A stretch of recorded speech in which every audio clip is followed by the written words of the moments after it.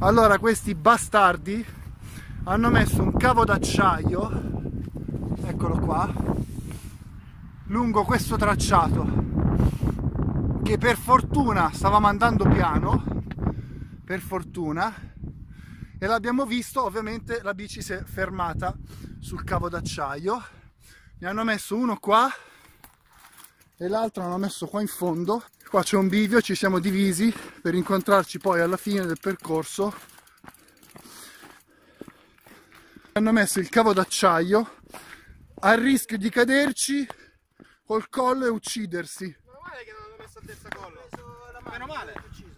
Meno male. e qua c'è l'altro eh. Lui l'ha preso. eccolo qua qua c'è l'altro che si è strappato perché ovviamente l'ha pigliato in pieno Oh, fortunatamente era un po' arrugginito che si è strappato. Fatto male, Dani? È un po' il pollice, sto preso proprio col dito. Ah, questa gente è da denunciare